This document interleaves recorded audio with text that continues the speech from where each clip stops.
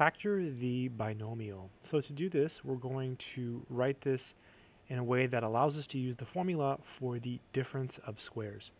So recall that if you have x squared minus y squared, that's equal to x minus y times x plus y.